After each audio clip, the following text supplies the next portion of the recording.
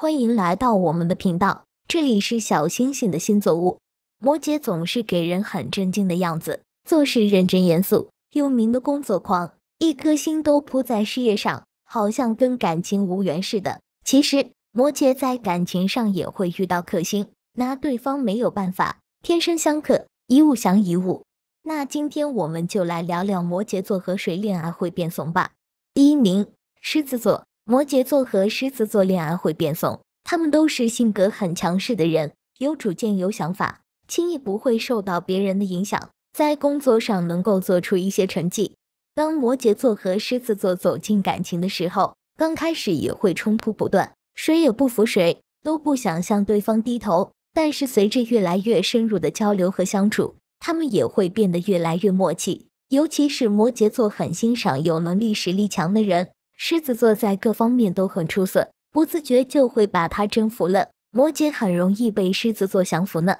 第二名，双鱼座。摩羯座和双鱼座恋爱会变怂。从性格上来看，两个人完全不属于同一种类型的人。摩羯座现实实际，做事有章有法，一板一眼；双鱼座则具有浪漫主义，阳光善良，乐于助人，很容易情绪化，也容易被感动。摩羯虽然很欣赏能力强、实力强的人，但是在面对双鱼这样软绵的性格时，却无法硬下心来。一旦双鱼撒个娇、卖个萌，心都要融化了。很喜欢双鱼带来的惊喜感觉，摩羯被双鱼的暖心照顾所打动，两个人天生一物降一物。第三名，双子座。摩羯座和双子座恋爱会变怂。摩羯做事很有规矩、有秩序，能够认认真真完成事情。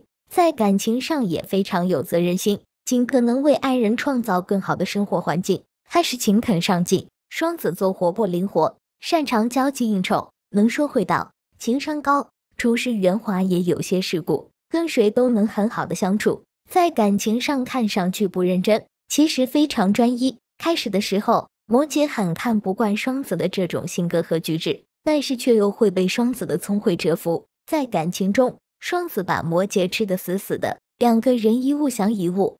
总之，摩羯座跟狮子、双鱼和双子这三个星座在一起时会变怂，面对他们的时候会受到一定的克制，但是却很喜欢跟他们在一起的时光呢。今天的分享就到这里了，如果喜欢我的视频，记得点赞、分享和订阅。这里是小星星的星座屋，带你一起了解自己和十二种不同的性格。感谢大家的观看。我们下期再见。